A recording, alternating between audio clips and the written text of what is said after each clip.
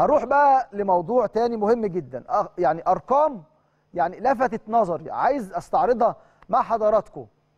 يعني أرقام عدد المباريات في الدوريات المختلفة. لما نتكلم. والأرقام دي اللي أعلن عنها الاتحاد المصري لكرة القدم. الدوري الممتاز 306 مباراة. القسم الثاني 720 مباراة. القسم الثالث 2241 مباراة القسم الرابع 2012 الكرة النسائية 337 بطولات الشباب والناشئين وده اللي يهمنا في برنامجنا 510 مباراه ده اتلعبوا السنة دي في هذا الموسم.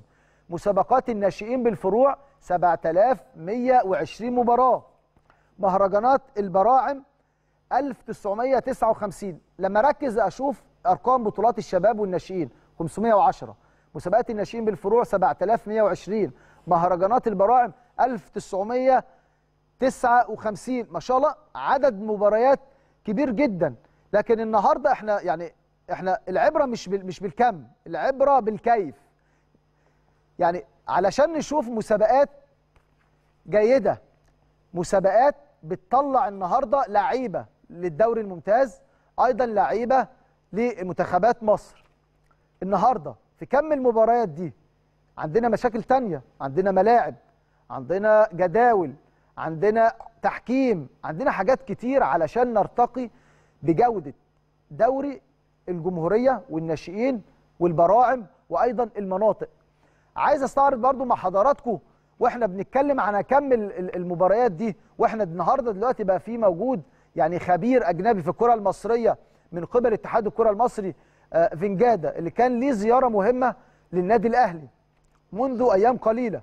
فينجادا وإحنا شايفين دلوقتي زار النادي الأهلي شاف الملاعب البنية التحتية بالنسبة لقطاع الناشئين شاف ما شاء الله النادي الأهلي عنده أكتر من خمس ست ملاعب سواء نجيل صناعي في الأكاديميات سواء نجيل طبيعي لقطاع الناشئين وكمان ملعب أو أنا بعتبره استاد تقام عليه المباريات الرسمية في قطاع الناشئين.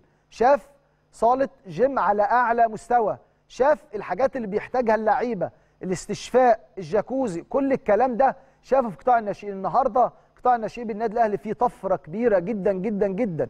النهارده ما بيتعاملش علشان قطاع الناشئين بيتعامل النهارده مش مش كأن بتتعامل مع لعيبة صغيرة. لا ده انت النهارده بتتعامل باحترافية كبيرة جدا. والنهاردة هو انبهر لما شاف الوضع في النادي الأهلي شاف التخطيط الكبير جدا الموجود في النادي الأهلي. ده اللي بيشتغل عليه الكابتن محمود الخطيب وأيضا بيشتغل عليه لجنة التخطيط وأيضا النهارده في شغل رائع برضه بنديله حقه الكابتن خالد بيبو.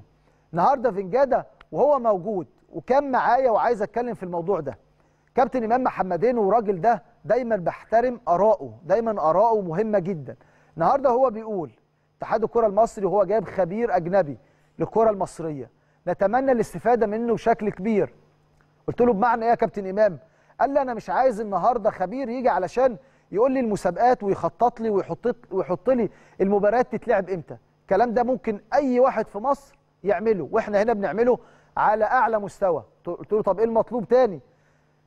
قال لي النهارده خبير أجنبي يعني النهارده بيحط خطط لكل قطاعات الناشئين موجوده في مصر. يحط برامج للبراعم يحط برامج لمسابقات الناشئين.